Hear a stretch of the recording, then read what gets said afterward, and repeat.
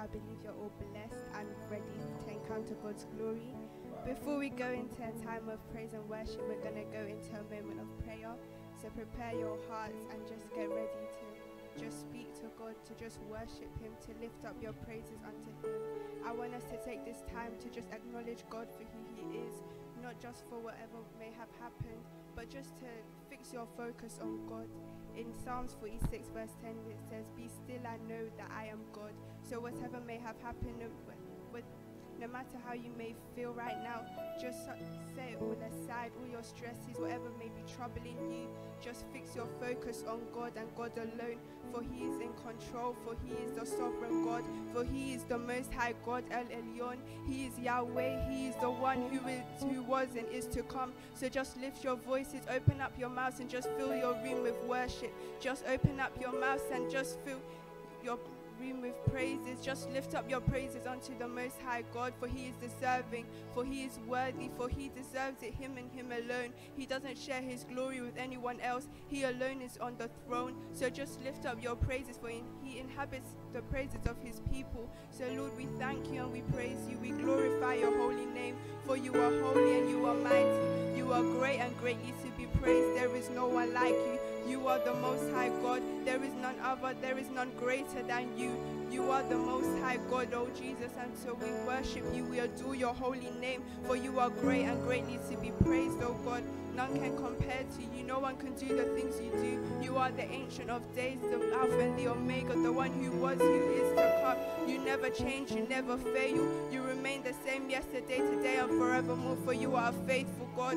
You never fail your children. You never let your children be forsaken. You said you will never leave us nor forsake us. So we worship you, Lord. We say thank you, Lord. We appreciate you right now. We set our eyes on you. We fix our focus on you and you alone, oh God. For you For you are worthy, O Jesus. So receive our praises, O God. Receive all the honor, all the adoration, all the praise, O Lord. For you deserve it. For you are worthy, O King of glory. For you are great and greatly to be praised, oh God. You are a good Father, oh Father. You want the best for your children. You never do anything to hurt or harm us, oh Lord. For you declare that you have great plans for us, plans of good and not of evil, to give us a future and a hope, oh Lord. So we rest assured in your goodness. We rest assured in your mercy, in your faithfulness, oh Lord. For we are your children, oh King of glory, and we have a great inheritance you for you cause all things to work together for our good, O King of glory. Nothing bad happens to us under your protection, for we hide under the, your secret shadow, O King of glory. So, Lord, we trust that you keep us safe, O Lord, for you are God who does what he says. You are faithful. What you say is what you will do. You never hurt back on your word. Your word never returns to you void, O King of glory, for you are faithful and perfect in all of your ways. There is nothing you cannot do, O King of glory. Never slumber nor do you sleep, O Father, Lord. You have no limits, for you say you can do exceedingly abundantly above all we could ever think or ask, O Lord. So we lift our praises unto you, O Jesus. We sing our praises unto you right now, O Lord We fill our rooms with worship, O Lord, for you are deserving, Lord, for you are worthy, O King of glory. We thank you, Lord, and we worship and praise your holy name, for you are Yahweh, you are the Most High God, you are the great King, you are God Almighty, you are great, Elyon, O Father, Lord, you are worthy, you are worthy, O Lord. Sing our praises to you, God. Hallelujah, hallelujah, hallelujah.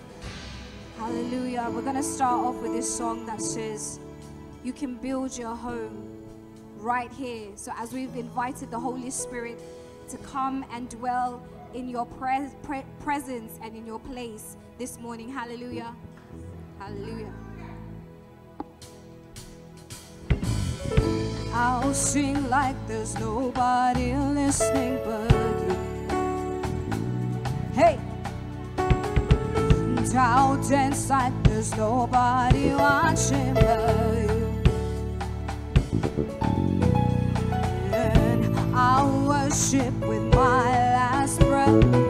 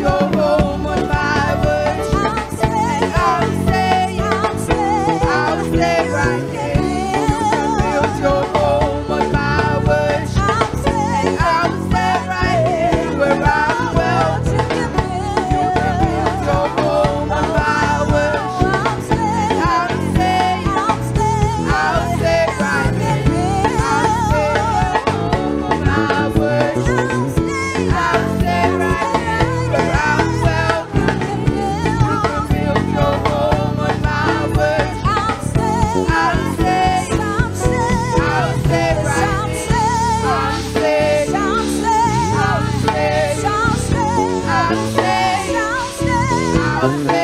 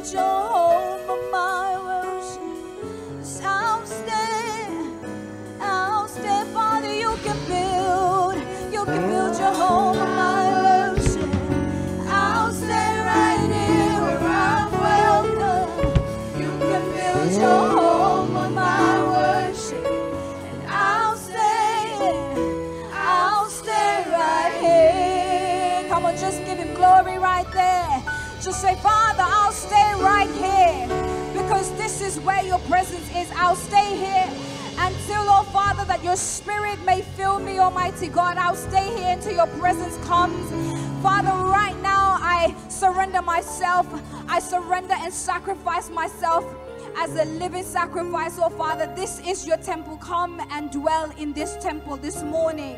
Come on, just invite the Lord to say, Come and dwell here. Come and stay here. Come and reside here. Let your home be here, right here where I am. Hallelujah. Because Jesus, you are worthy of it all. Jesus, you are worthy. And I will give you praise and worship because you are worthy. I will declare on all nations, oh God, Father, that you are worthy. I will raise my voice, oh God, from the mountaintops to declare that you are worthy. I will not be silent, oh God, Father, but I will say that only you, Jesus Christ, are worthy. Hallelujah. Father, we thank you.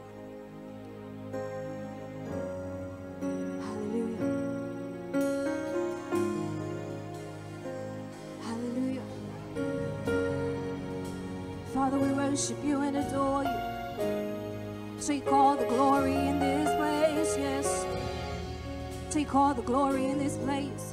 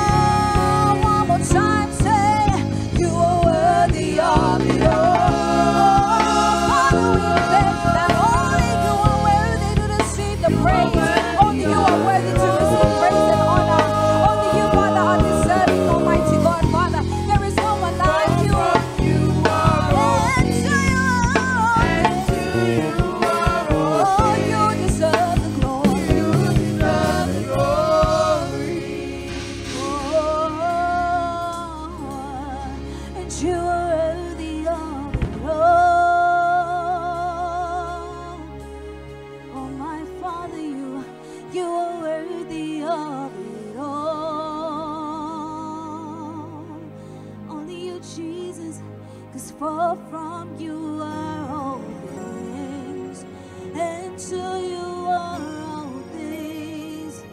Father, you deserve the glory. There's nobody else that deserves it. Nobody else that deserves it but you. That's why we're here right now.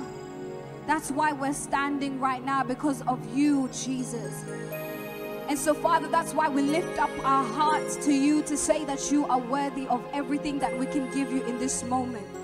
There's nothing more that we can give you that you haven't already given us. So, in this moment, the only thing that you require of us is a sacrifice of worship, is a sacrifice of praise, Father. So, that's what we give you right now. That's what we give you right now because only you are worthy, only you are deserving, Almighty God. There is no one else because you don't share your glory with anyone. So, we cannot give the glory to anyone else for our for this moment right now. We cannot give any glory to any human being. We cannot give glory to anyone who has sustained us because only you have sustained us. Only you have been here with us. Only you have walked with us. Only you have been with us, Almighty God. So Father, we say take all the glory because you are worthy. Because only you are worthy.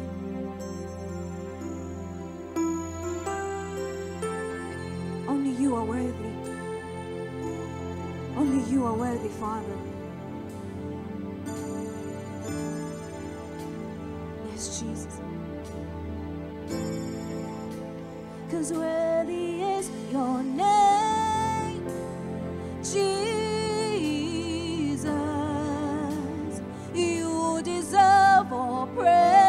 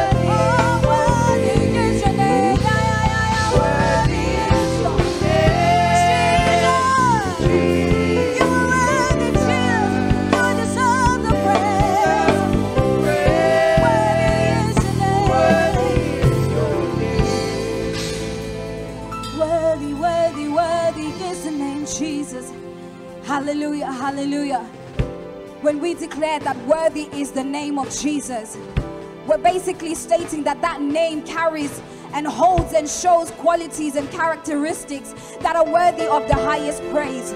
Revelation 5 tells us that only Jesus is worthy to take the scroll and open its seals.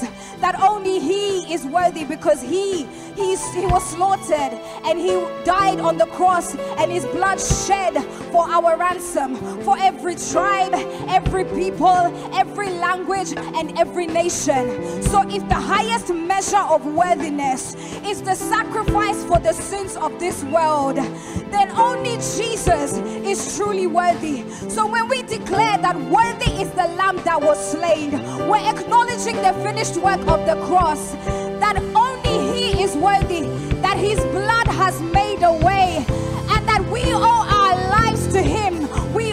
commitment to Him. So when we that have chosen to follow Him, we that have decided to follow Him, we ought to give our commitment to Him. So that means that we can't be, we can't live,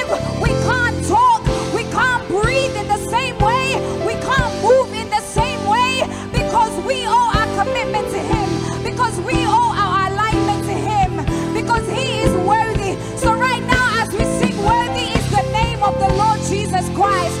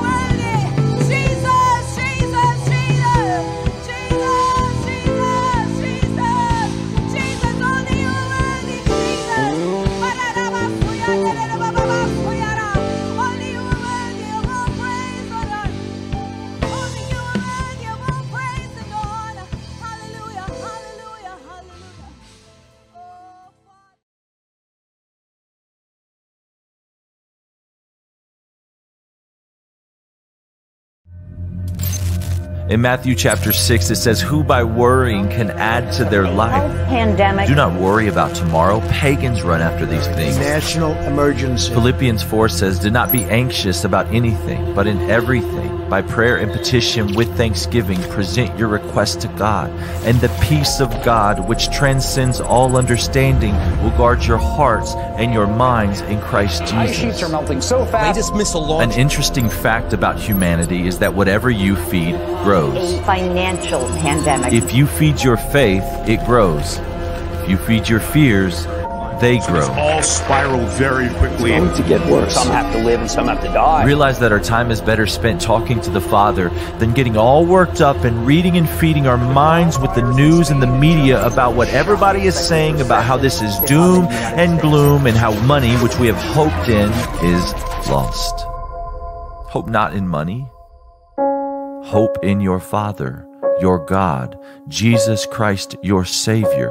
Have your faith and use it. Walk according to it. Whatever you feed grows. This is the time to press into the church, lean into the church, to be surrounded by God's people. We can offer prayers for one another. We can offer hope to one another. We can speak words of truth to one another. If you feast on the word of God and you renew your minds around the truth, your faith, it gets bigger and bigger and bigger. But if you go to the news and you read article after article after quote after talking head and you continue to feed those fears, they grow and get bigger and bigger and bigger. Whatever you feed grows. Today, did you wake up this morning and feast on the Word of God and go to Him in prayer? Or did you feed your fears?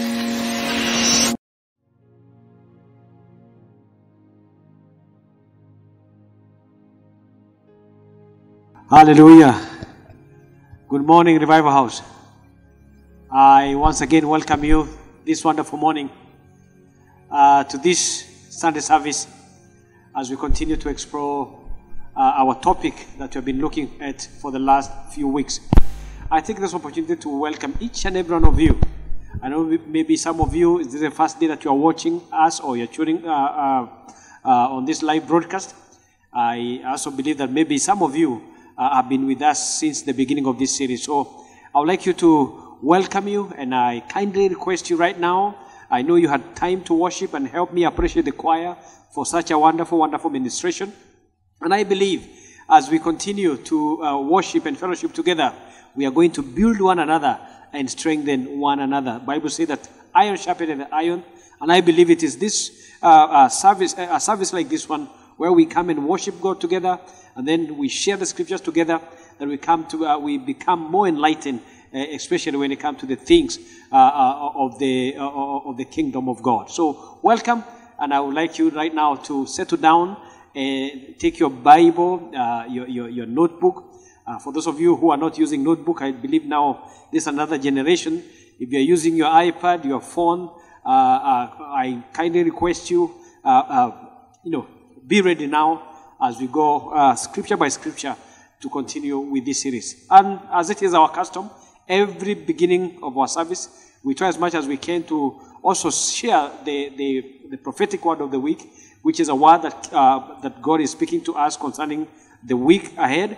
And I believe this is what are going to do. And uh, after that, we are going to go to the, uh, to the study of the word. So, straight away to the, uh, the prophetic word of the week which uh, comes from the book of Luke, chapter 12. If you go with me, the book of Luke, chapter 12, that's where we get the prophetic word of the week. And uh, verse 16, Luke 12, verse 16, it says, Then he told me, he told them a parable saying, The land of the rich, man, uh, uh, the land of a rich man was fertile and yielded plentifully. And he considered and debated within himself, What shall I do? I have no place in which to gather together my harvest. And he said, I will do this. I'll pull down my storehouses and build, a, build larger ones, and there, there I will store all my grain or produce and my goods. And I will say to my soul, Soul, you have many good things laid up, enough for many years. Take your ease, eat, drink, and enjoy yourself merrily. But God said to him, You fool, this very night they will demand, uh, uh, I will demand your soul of you and all things that you have prepared, and the things that you have all prepared, whose will they be? So it is the one who continues to lay up and hoard possessions for himself and is not rich in his relation to God. This is how he fares. This is amplified version. This is a, a, a prophet. This is the prophetic word that God is giving us for this week, and um, as we can see, it is very very self-explanatory uh, from verse uh, 16 up to verse 21 uh, is, is a, an admonition to all of us. And God gives us a, an example of somebody who was, his focus was only to make a livelihood, uh, amass uh, uh properties, amass wealth, uh, with a view that one day after he have amassed everything, he will settle down and enjoy. But uh, when, while he was doing this, there was no place whereby he considered to serve God or even to deepen the roots when it comes to the, the, the spiritual things or his relationship with God. And we see the end result, according to this parable, that at the, uh, at the prime of, of, of his business, at the prime of his life, at the prime when he would have now seated down uh, and enjoy, uh, that is when God called him home. Not when I say called him home, that's when God, uh, uh, you know, uh, Bible is telling us here that he he found he, he met his death at the prime, um, uh, you know, of his business when he would have settled down and enjoy. And I believe that the reason why God is giving us this prophetic word of the week uh, uh, is, is in line with what, what we are learning uh, since, uh, for the last maybe five weeks. We're looking at the end times, and we see there are so many people who have, uh, you know, who, who we know, who have gone to be with the Lord, who have died uh, at the prime of their business when they, they, they look at everything is going well. That's when they died. And if you ask anybody, uh, and I believe you, maybe you know this, that 90% of people who die, most of them believe that it, they will have a better tomorrow. So uh, most of them believe that they will be still alive next, uh, maybe the next one year or next two years, or even many more years. But not knowing that the Lord is requiring, uh, uh, you know, their, their- their, life or, or their soul, uh, you know, even when they don't think it is, they, they are ready to go. So what is this? This is a preparation. This is a, a wake-up call for all of us that we live a life that is uh, knowing that uh, our focus is not only in raising up money and hoarding up money, forgetting our relationship with God. And I believe this is a very, very timely prophetic word for all of us to be careful and to be ready, uh, even uh, as we study the scriptures, uh, and even as we prepare. And I'm not saying that you don't save, that you don't even uh, think about your business or your career, but always remember there is one greater than everything that you try to do, and that is uh, the relationship that uh, you need to to to nurture and to foster your relationship with God. So if you are listening to me this day, you may be born again, but you have done you become lukewarm. This is a time that you dig deeper and restore that relationship with God. Maybe for those of you who are listening to me this, this morning, maybe you have not given your life to Jesus. And maybe your focus more is to just work, work, or do business and uh, not forgetting that your life can be required anytime, just like as we read this parable. And I believe this is a wake up call, and I would like you to remind yourself, read this entire chapter, and it will give you a, a, a, a, bigger understanding, uh, a deeper understanding of uh, the importance of being prepared uh, for the coming of our Lord and Savior Jesus Christ, because it can be any time. Amen. Right. That is a prophetic word of the week. I know it has taken quite, uh, uh, uh, quite a lot of your time, but let's have, I believe, that um, it's a wake up call for all of us. And I, I, I, you know, I admonish you and I pray that you continue to be prepared and also read the scriptures more. Keep that relationship with God because it can be anytime soon. In Jesus' name. Amen. Right. We are coming almost now to the end of the series that we started sometimes uh, uh, uh, uh, a month ago. And we've looked, uh, the title of the messages or, the, or, or this, this series, they are all about end times. We are almost coming now to the end of this series. And today we are going to look at the, uh, what is the Battle of the Armageddon. And uh, that will be the title of the message for those of you who are taking note. And we are going to look at the scriptures, what the Bible says about this time. Uh, what is Armageddon? We are going to look at that. And when will it take place? And this will help us to understand uh, uh, history and to be able to, to understand according to what the Bible, no, not only history, but also the future. Because the thing that we are reading, uh, we have been, uh, when we are doing this research, we are looking back at some of the prophecies that were done, uh, were prophesied uh, many years ago, but we have seen them fulfilled. Uh, uh, most of them have been fulfilled, and we have this assurance that even those that which have not been fulfilled, they are going to be fulfilled. So we have looked at uh, this series in depth, and today we are going to look at that, uh, the Battle of the Armageddon. For the last three weeks, uh, no, the last two weeks, we are looking at what is going to happen during the time of tribulation. And we'll say that the tribulation begins when the church is raptured, and it is a period of seven years when the judgment of God will be re- released uh, uh, uh, upon humanity. And we saw, uh, we've looked at the last three, uh, the last two Sundays, that there are three waves of judgment. There's a seal judgment uh, uh, that- that were open, uh, where we saw the four, the four horses of uh, uh, Apocalypse, and then there was the trumpet, and then there was the bowl. So seven, in total there were 21 uh, um, sequence of judgment, but they have been served in three different waves. The waves of uh, uh, uh, where the seals were open, uh, and the trumpets were blown. Uh, there was a blowing of the trumpet, seven trumpets, and then the seven bowls that we looked at last Sunday. In today we are going to look at uh, the battle of the Armageddon and when it's going to happen. And before we do that, we need to ask ourselves, where are we uh, uh, in life? Where are we right now? I stumbled upon a document uh, which I'm going to ask the media to upload the diagram, and it's called the Doomsday Clock. Uh, amazingly, this the Doomsday Clock is not being uh, the one who I'll- I'm going to explain what it means, but the one who the people who came up with this idea, they it's not that they are born again, but it's so amazing that uh, that they, uh, uh, the reason why they, they came up with the idea and how they began. Uh, uh, you know, to, uh, to follow upon this clock and actually the judgment or the wisdom behind the doomsday clock. It is amazing because somehow it tallies to what, with what I'm teaching you uh, this, this morning. And the doomsday clock, if I can define for you, uh, if I can explain to for you, I, I found this uh, explanation in the Wikipedia. It says the doomsday clock is a symbol that represents the likelihood of man-made global catastrophe. It is maintained since 1947 by the members of the uh, Bulletin of the Atomic Scientists. The clock is a metaphor for threats to humanity from unchecked scientific and technical advances. The clock represents the hypothetical global catastrophe as midnight, and, and the Bull- Bulletin's opinion on how close the world is to a global catastrophe is a number of minutes or seconds to midnight assessed in, uh, and it is always assessed in January of, for each year. And uh, they say the doomsday clock pictured at its current setting of one, 100 seconds to midnight. So they say actually they adjust it every year, and they it was uh, the idea came from a scientist, and they they, they, they adjust according to the threat that they see, and, and the possibility of a third world war or something that can wipe up the world.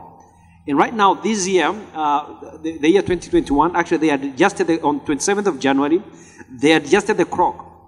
And they announced uh, actually that um, we are, according to, their, to them, that is, to this clock, is that we are, this is the nearest we are to the end of times or to another world war or a, a, a catastrophe that will, can wipe the entire world. This is not biblical. They, they are not from the Bible, but they are scientists. But actually, also they can also be able to design the times. Though maybe they are looking from a scientific point of view, uh, they also they also involve the military and the people uh, people uh, you know uh, who you know who understand the strength of other nations, especially those who have nuclear weapons, uh, the possibility of uh, if they end up fighting that there's no way that the, the, the, the world will survive. So this is their theory, and um, but we, we can see as much as it is a secular theory, we know that biblically we are very near to the end. So we are going to look at that. So the battle of the Armageddon. But I want you to see something here. When we read, read the scripture last week in the book of uh, uh, Revelation chapter 16, and uh, we looked uh, at the bowls uh, that were, uh, you know, the judgment, some of the judgment that were released. And in the book of uh, Revelation chapter 15 and 16, we see part of the judgment that we, we studied last week. But something stands out, and I'll ask the media uh, to give us the second document, is that the, the judgment that we see in these scriptures, the one that we read last week, we see there's, a, there's similarity between those judgments, especially those from the bowls that were released, the last wave of judgment. There's a lot of similarity between them and the judgment that was passed against the Egyptians, what we call the ten plagues of, of, of- of- on Egypt. And we see it is, uh, is like word for word Most of the things that happened during that judgment, it is a, the same thing that happened in the book of Revelation, uh, chapter 15 and 16, when the trumpet and the bowl uh, and the, the bowls uh, of, of judgment was released upon uh, uh, the people who will be left in the world. So, but we see that the moment this judgment was, um, the plague was released upon Egypt, it is at that point that also the Egyptians were also delivered. But we see in our case, the body of Christ, those who have lived uh, a life pleasing to God, the church, those who are, have, uh, have lived the life and have persevered, Bible is telling us that we will be raptured before the seven, this, this seven years of tribulation. But we know because God is merciful. At this point, uh, even after rapture, there are people who will be left. And most people will give their life to Jesus at this. And within these seven years, uh, because God is so merciful and kind, and He desires that no man should perish, but many should come to Him and give their life to Him. Because of His mercy and grace, He will still save people during these seven years of tribulation. And we see that um, at this point, they will be delivered after this. So we see just example uh, as, as it was with the, the children of Israel when they were uh, in captivity in, in Egypt, when these plagues were, uh, you know, performed in the life of the, in the nation of Egypt, then there was that deliverance. So we see actually we can say there's nothing new in the bible because we, what we see actually has happened in the past so in a way god is showing us as i did it to the children of uh, to the egyptians by sending plagues i will also do it in the end times and that's why you see the similarity between the book of, uh, as you can see the diagram, Exodus chapter 7 to chapter 11, uh, uh, we see the plagues. And also Revelation chapter 15 to 16, we see uh, uh, the, the similarity of the, of the wrath of God. The way he afflicted the Egyptians, it is the same way he will pour this judgment. So we see there's nothing new. Uh, God is faithful and merciful. Whatever he do, he always prepare us in advance. Just like the way we know as the rapture will come, we know there are types and shadows in the Bible, in the Old Testament, whereby we are able to understand how rapture will come. And this is one thing that, I, that always gives me an encouragement to know that uh, as a support that the church will not go through tribulation is because just like it was in the time of Noah, um, when the, the flood came, which was a sign of judgment, Noah, uh, when you read the scripture, and we are going to read it in the book of Genesis, chapter 7, uh, verse 4 to 5, we see after Noah uh, built the ark, actually, the Bible said that, and God welcomed him. Uh, it is God who invited him to the ark. Let's read the book of Genesis, chapter 7, verse 1. We are looking at uh, these things, even before even we look at the Armageddon, we are looking at there's nothing new. Uh, God always prepared us, and He has given us signs and examples in the Old Testament that are able that help us to understand uh, the, the mind of God, the will of God, the plan of God, and how things are going to unfold. So, and that's why Bible says God is merciful and kind, and all these things Bible says are written for admonition. The book of Genesis, chapter seven, verse one, and also verse four and five, it says, "Then the Lord said to Noah, Come into the ark, you and all your household." because I have seen that you are, the, you are righteous before me in this generation. Then, uh, verse 4, it says, For after seven more days, I will cause it to rain on the earth 40 days and 40 nights, and I will destroy from the face of the earth all living things that I have made. And Noah did according to all that the Lord commanded him. So you see, this is another type of judgment another type of judgment. But we see uh, the, uh, uh, Noah and his family, they are, they are taken up and judgment comes. But before they were inside the, the, the ship uh, or, or the, the, the ark, uh, uh, before they were inside the ark, the judgment could not, uh, had not come. But the moment they went, entered into the ark, judgment, which, was, which came in form of a flood, it, it, it was released upon the, the entire humanity. So we see, actually, the Bible is saying that the, the, Lord said to Noah, Come into the ark. Imagine, he's the one, it's Noah who built the ark, but when it comes to entering into the ark, God invited him in. What does that mean? It is a type that will be invited in heaven before judgment comes. So we know that rapture will take place before the tribulation. And also we see the same thing with Sodom and Gomorrah, another type of rapture. Then the man said, uh, Genesis chapter 19, verse 12 and 13, it says, Then the man said to, to Lot, Have you anyone else here, son in law, your sons, your daughters, and whomever you have in the city? Take them out of this place, for we will destroy this place, because the outcry against them has grown great before the face of the Lord, and the Lord has sent us to destroy it. So you see, another uh, this in this case, it was not the entire uh, world that uh, uh, earth that was destroyed, but this city was destroyed. But you see, the righteous in the city they were taken up, they were taken out before the destruction, and this is the assurance that we have that before this great day, which is called the great day of the Lord, or these seven years of tribulation, we know that the church will be raptured. So we see, let's look at the scriptures.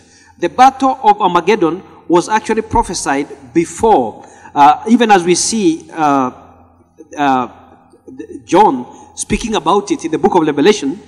The book of uh, Ezekiel uh, prophesied the nations and, and, and what will happen. We are not going to read the entire chapter, but I want you to take time to read the book of Ezekiel, chapter 38, and Ezekiel 39, because this is a prophecy of what will happen at the end time. So, uh, and also Zechariah also prophesied about this, the battle of Armageddon. Though it is not mentioned Armageddon, but actually it mentioned how the battle will be, uh, how this thing, how things will, will happen.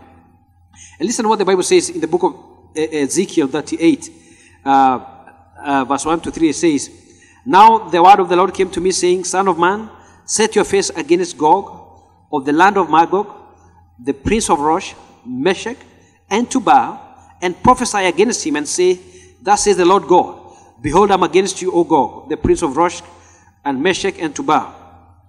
Then uh, uh, Ethiopia, that is verse, verse 5. Persia, Ethiopia, and Libya are with them. All of them with, with shield and helmet. Gomer and all its troops. The house of Togarmah from the far north and all its troops. Many people are with you. So they, this scripture is telling us they are planning to go and attack uh, Israel. But God gives us the end, uh, the Bible is telling us what is going to happen. That even though they gather, they may gather as many nations and strong nations to go and destroy the nation of Israel and the believers will be left that time. But Bible is telling us that God is going to avenge the, the nation of Israel. And this is why we get now the, the, uh, what is going to happen during this, the battle of the Armageddon. But we see very well, it is prophesied uh, uh, what is going to happen. And then we may ask yourself, what are these nations? Wh- What is the meaning of this nation? We see uh, the names like uh, Magog mentioned in this scripture. And I'm going to mention some of these nations that are going to be in this battle of- the, of the Armageddon. And one of the nations here, Magog, uh, in the book of Ezekiel, chapter 38, uh, we see Magog represent Russia. And also Meshech represent Russia and other nation, neighboring nations. We know that there are so many nations. Russia was a very big nation. There was uh, other nation that uh, broke out from the main Russia. So I believe uh, it will be a confederacy of this nation coming back together. And they will be within that time uh, looking to go and destroy the nation of Israel. And I believe they will come up with this reason. They will say, This nation has brought us a lot of grief. Maybe they will give a reason why. Maybe the problem that we are facing in the world is because of this nation. But in actual fact, they, they, they wanted to go and dominate. And the, the, dev- uh, the, the Antichrist will use them mightily during that time. They will partner together to go and destroy the nation of Israel. So the other nation mentioned in this scripture of Ezekiel, chapter 38, is Tubal. Uh, Tubal uh, is, is, is, an, is the modern day Turkey. Also, we see Persia. The, the name Persia here actually is Iran. We know for many years until 1935, Iran was called Russia, uh, uh, was called Persia, but they changed their name to Iran in 1935, and also in 1979 they changed actually again and they called it uh, Islamic Nation of Iran. So we know we, we know that actually during this battle of the Armageddon, Russia will be there, uh, uh, uh, Turkey will be there, um, Iran will be there, and also Bible also says about Cush or uh, Ethiopia. Uh, but when you read uh, scripturally and geographically, actually you understand actually Bible in the book of Ezekiel chapter 38 verse 5, it talks about a south a nation in the south of Egypt. But when you look at geographically the, which nation suit this uh, uh, description, actually it is Sudan. So we know that actually, uh, and we, need, we see what we can see very, very well here is that most of the nations that are going to attack uh, will be involved in the battle of the Armageddon. Mostly they are from Islam nation. And we see also, we know that Sudan also is very uh, powerful in Islam, not South Sudan, but actually the Sudan itself. And the, another nation that will be involved during this battle of the Armageddon, according to the prophecy of, of, of Ezekiel, is Libya. In the Bible, it is called Put. And uh, uh, Bible says historically the land west of Egypt. And the other na- nation is, uh, is Gomer and Togarmah, which are nation, uh, which is Turkey, and uh, uh, uh, a nation neighboring to, to Turkey. So we see these are few, these are the nation, uh, some of the nation, and I believe these are the main nations, but other nations uh, will also gather during this time to in this battle of Armageddon. But when we read the, the scriptures actually, in the book of Revelation chapter 16, uh, we understand actually it is the, it is the Antichrist uh, and, the, and, the, and the demonic forces that will influence these people to wage war against Israel. So, uh, obvious, they may think that it is, they, it is not, it will not be their idea. Because when we read the book of Revelation, chapter 16, verse 14 and 18, we hear it is a demonic influence that will cause them to go and fight against the Israelites. Let's read together. The book of Revelation, chapter 16, verse 14, it says, For they are the spirit of demons performing signs, which go out to the kings of the earth and of the whole world to gather them to battle of that great day of God Almighty. Behold, I'm coming as a thief. Blessed is he who watches and keep his garments, lest he he walk naked and they see his shame. And they gathered them together to the place called in Hebrew Armageddon. Then the seventh angel poured out his bowl into the air, and a loud voice came out of the temple of heaven from the throne saying, It is done. And there were noise and thundering and lightnings, and there was a great earthquake, such as a mighty and great earthquake as had occurred since men were on earth. So we see number one, Bible is reminding us here that we should be careful. We should be people who are ready. But, but you see, and Bible is saying here, behold, I am coming as a thief. Blessed is he who watches and keep his garment, lest he walk naked, and they see his shame. And they gathered together to the place called in Hebrew Armageddon. So it's like Bible is telling us here, please, guys, be careful because this day will be an intolerable day. I would not like you to be found there. But he said, blessed, actually, uh, i- i- i- is a blessing to be ready, to be uh, expectant of the coming of our Lord and Savior Jesus Christ. It is important for us to be to live a, a, a, a life that is that is pleasing to God. It is it is the Bible is uh, is imploring us here. Live Elisha's life. Live a life that uh, any if Jesus Christ comes, uh, the rapture uh, take place today, that you know that you'll be left you'll not be left behind. And actually, the scripture is telling us here why it is important because he's saying uh, during this time um, and they uh, because if you don't do this, you'll find yourself in during this battle of the Armageddon. You'll find yourself in time of tribulation. Remember what we read last week? That when the fifth bowl was poured, that people were praying for death. People were seeking death. And death, they could not die. Imagine you want to kill yourself because of the trouble, but you cannot die. Imagine how many people who try to kill themselves during that time because of what is happening, but they cannot die because even death will not, you know, you will not die. And, and because people had to go through that uh, according to the scripture. So this is, I'm not scaring anybody, uh, but it is important to know what is going to happen. So even by the time we live our, our life on this, uh, in, on this earth, we are living a very intentional, in, uh, uh, uh, in a, a very intentional life that we know that when Christ comes, we'll be, uh, we'll go with him.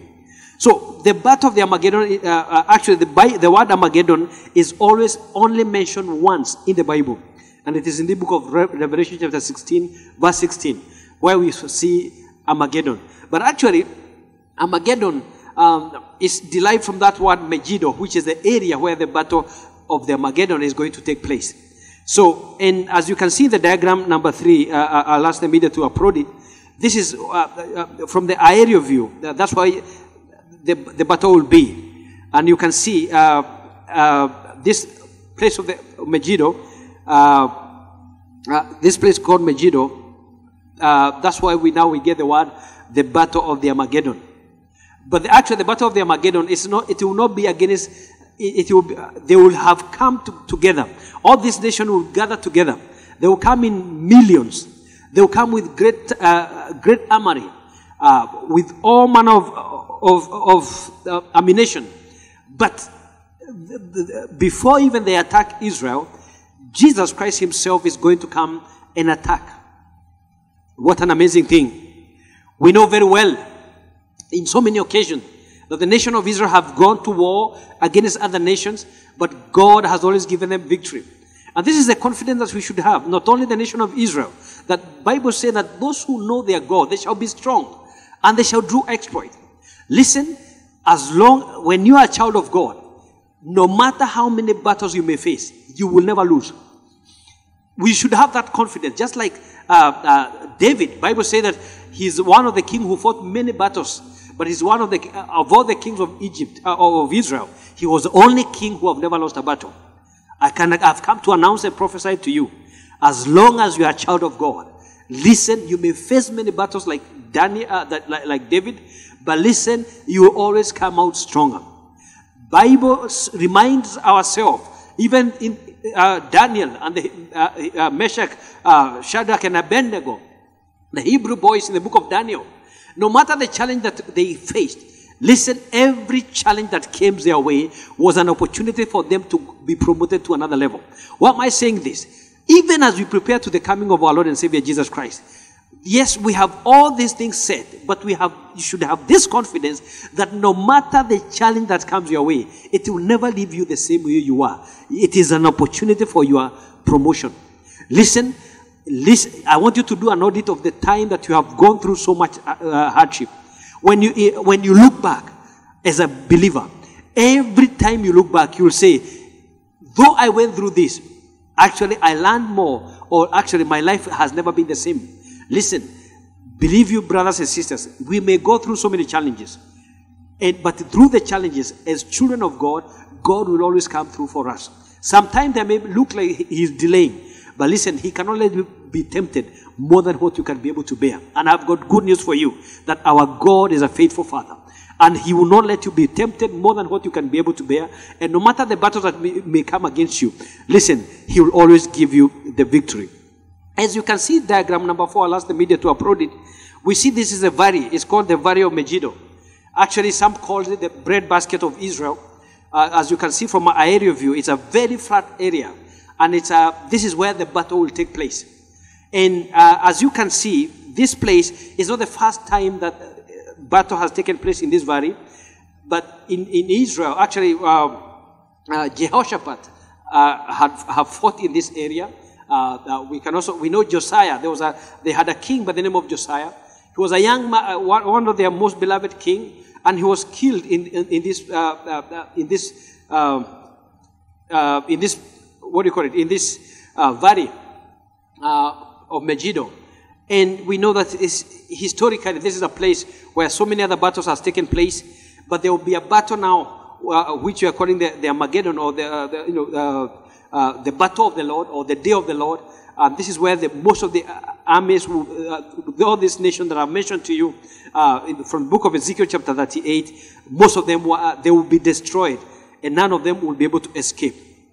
And we know that God always fight for, uh, for Israel, but this is a final battle. Even as he waged war uh, uh, to, for, the, for the remnant who be left that time, he'll give them victory. We know uh, historically, in the year 1967, there was a battle uh, uh, where the, the, the nations of uh, the surrounding Israel, um, they came out together as a unified uh, forces to fight against Is- Israel. And they, we know very well, for those of you who have read, ever read this story or hist- this history, you understand actually the Israelites were outnumbered. Uh, the nations, uh, the United Arab Republic, Jordan, Syria, uh, the Palestinian guerrillas, um, and uh, also uh, uh, Egypt, they were all coming together to fight. And the Arab armies, they were numbered at half a million men, while Israel only had 75,000. The, the, Arabs, the Arabs fielded 5,000 tanks and 900 combat, combat aircraft, whereas the Israel total was only 1,000 tanks and 175 jets. But listen, yet when the smoke cleared after all this, the six days battle, listen what happened after six days. The United uh, uh, uh, uh, Arab forces, they were destroyed. They had lost all the warplanes. 20 of them, 20,000 of, uh, uh, of lives were lost. And all this nation coming against Israel, they were defeated. But even those who participated in the battle, they said it is not in the, the mighty of the Israel, Israel army, but actually there were supernatural forces that were helping Israel to fight. And in so many occasions, we've seen Israel defended by God. And also in this battle of the Armageddon, this is where now the, the God Himself destroyed all the enemies that have risen against Him for many years. And this is the, the final battle where we see now, um, after this final battle, we will see now Christ come because He's the one who is going to fight this battle, destroy the armies, destroy all these uh, uh, uh, uh, uh, forces that come to rise against Israel. And when He destroy them, then He's going to come now. This is where you're going to see now the the beginning of the millennial reign. And I believe this is our last, um, next Sunday will be, I think, will be our last, whereby we are going to look at the millennial reign after Christ has destroyed this army in the battle of Megiddo. And as you can see in that diagram, uh, uh, we see we are, the, we are, we are the, the one, the believers who will have been raptured. They are the one who are going to come back with Christ. And they are going to uh, reign on earth for a thousand years. And what a glorious thing to be counted among the numbers. And listen, you may call me uh, a. You may call me uh, that maybe this message is, uh, is outdated. But, brothers and sisters, I am passionate uh, that none of you will miss heaven. You may have your own opinion, but I, I, I listen. I'm not saying that what I'm saying that this is the only thing that you, sh- you should study. Take time, study your Bible. Ask the Holy Spirit to guide you and uh, give you revelation because we are coming. We are very near to the end. And during this battle of the Armageddon, we will see, Bible says actually it will be bloodshed like never before. They said actually life will be lost because I believe this time God will be destroying all the forces of darkness that has stood uh, against him for many years and will see the victory before the coming of, uh, of the millennial reign uh, that will be led by none other but uh, uh, General, uh, the King of Kings, Jesus Christ Himself. And who, will, who is going to be with Him? It is the church, the believers who will have been raptured, and even those who will die um, during the, the tribulation. Most of them will die, most of them will be martyred, but still they will, be, they will be able to come down with Christ and reign for a thousand, a thousand years. Brothers and sisters, I've preached so many messages, but uh, and many messages which are dear to my heart.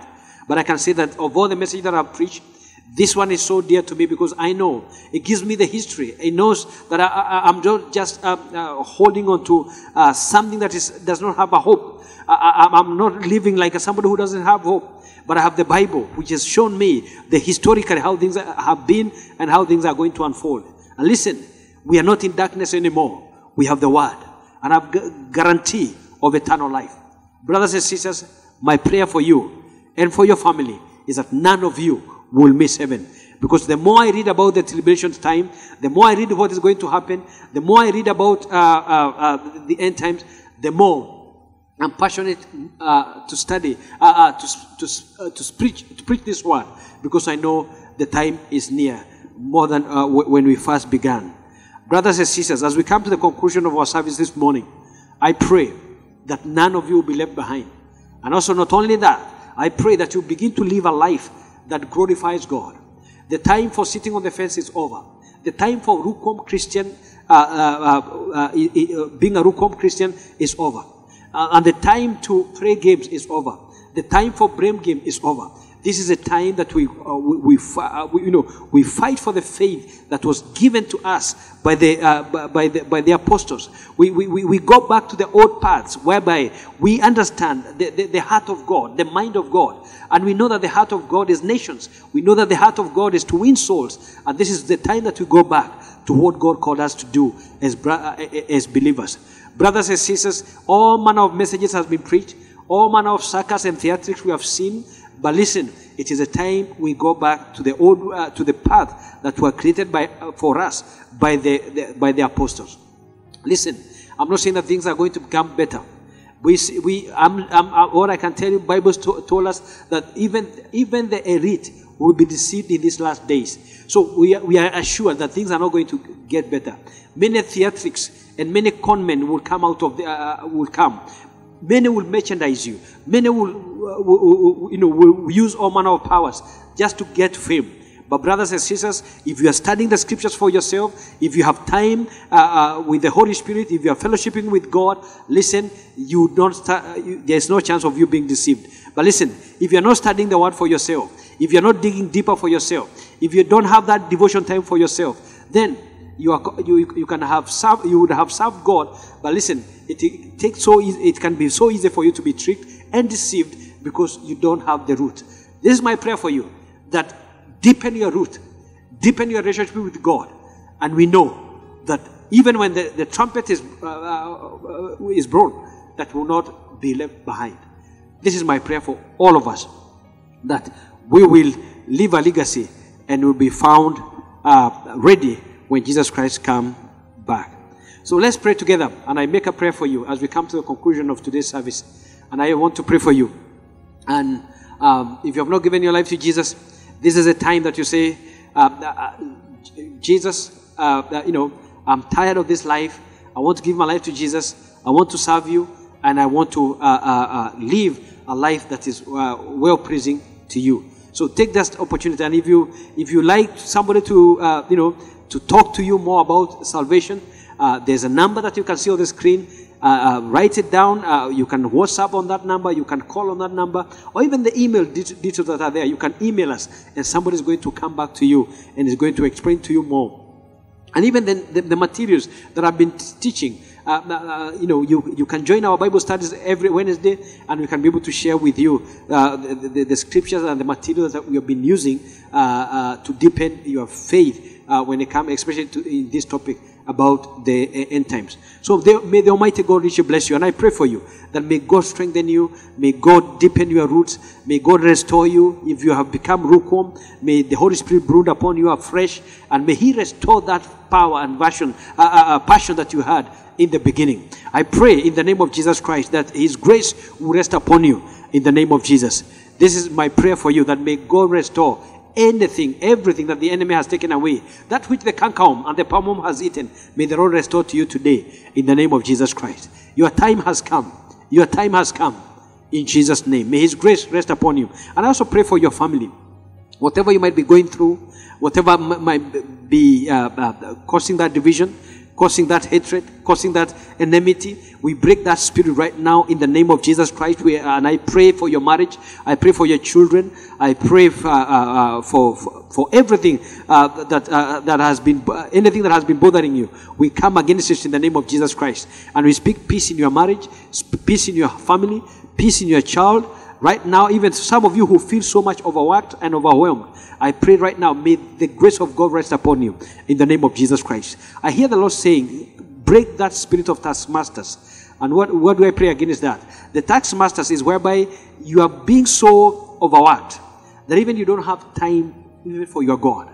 Uh, and maybe when you when I say overworked, maybe we're looking at how much you are getting back, and there is nothing that can show uh, that can equate to uh, to the type of work that you are doing. I've had so many people tell me, Pastor, I think I'm being uh, nowadays I'm working even more than even before the pandemic. I pray right now in the name of Jesus Christ that that spirit of the, the uh, of the taskmasters who are holding you captive, who are uh, who are abusing you, I break that spirit right now in the name of Jesus Christ, and I declare right now. Every, you shall enjoy your work, you shall enjoy your business, you shall enjoy your career, and you shall not sow in another one leap in the name of Jesus Christ. I declare your harvest is not going to be taken away in the name of Jesus. And as I pray for you, I also come against those little foxes that spoil the harvest. It can be in your marriage, it can be in the life of your children, it can be in your business, it can be uh, uh, in your day-to-day running of your career, uh, you know, of your business or your career. But today we come against those little foxes. I hear the Lord saying, "Come against those little foxes that spoil the harvest." This day, in the name of Jesus, even it can be dis- distraction. Even when you're doing the study of, of the Word, we come against those little foxes right now in the name of Jesus, and we declare you are free, and the Spirit of God will give you high level of discernment to be able to identify the thing that has been taken away from you. In Jesus' name. In Jesus' name. Hallelujah. So we come to the conclusion of our service this morning, uh, and I will ask the media to take us to the next uh, session, whereby we are going to honor God with our substances. And even before we do that, I would like to appreciate you for all that you continue to do. The ministries to stand, and even for us to be able to air every time to come to you to do this recording to prepare them.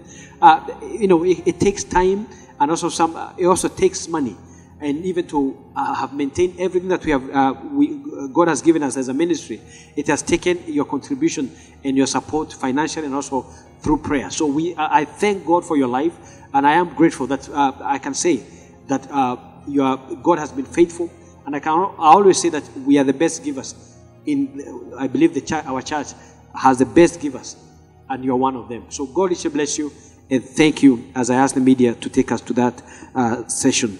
In Jesus' name, amen.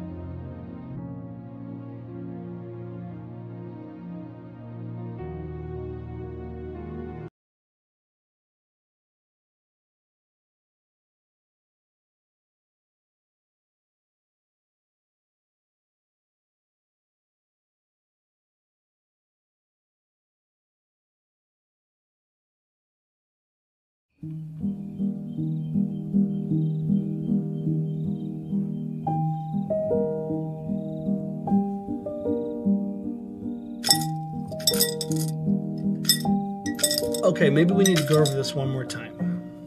Do we have to? Well, sweetie, I don't know if you're getting a good grasp of the ratios here. Fine. Okay, all right, step by step.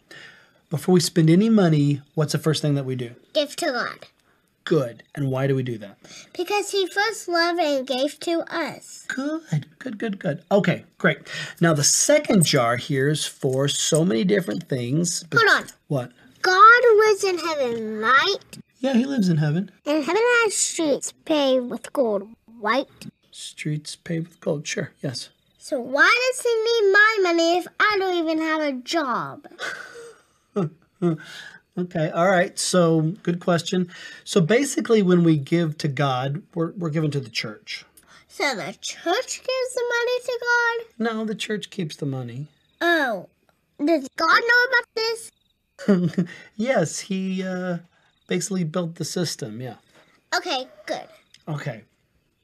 See, sweetie, as you grow up, there is nothing better than giving back to God. In the Bible, it's the only place God says, Test me on this. When it comes to your money, He says, Test me. It's almost like He's saying, I dare you. And your mom and I, we do just that. Even when things are tough, we always give the first part of our money back to God. And then the church takes that money and does all kinds of things to make God famous, uh, like camps and mission trips, and even VBS that you love so much, and even helps out people that are in need. You can't outgive God. And when God says test him, and you do it, he will come through every single time. Okay, Dad, I get it. I do have one question, though. Oh, okay. Why do we need to test God if He already knows all the answers?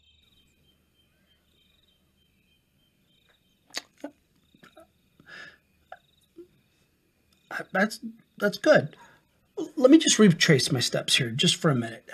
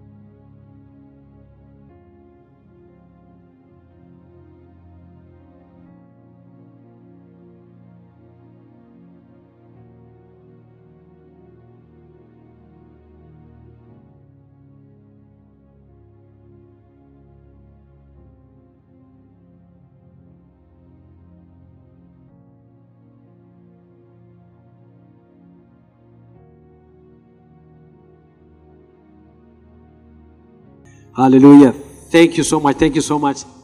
Right now, we come to the conclusion of our service. I'd like us to share the benediction together. And I, I as I always remind you, please, let's pray for one another.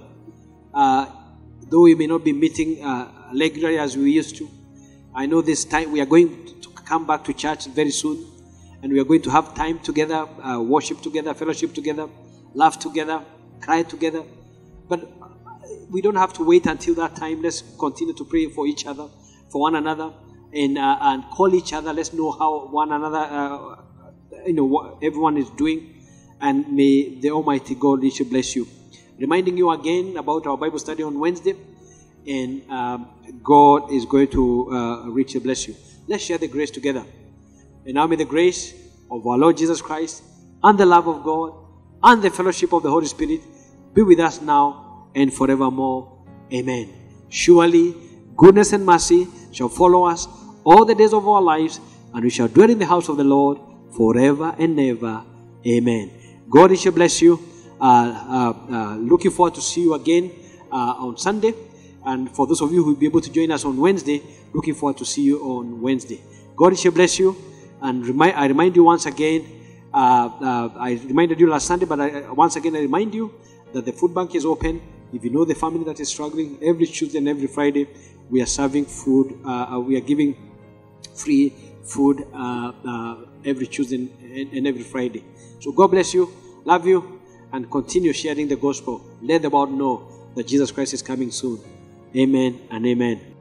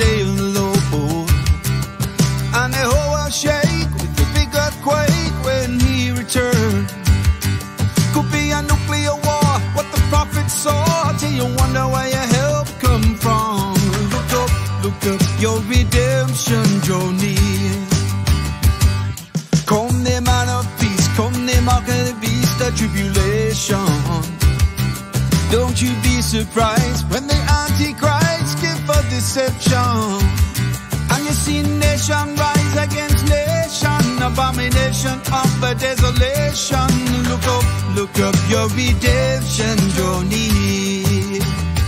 When he draws near,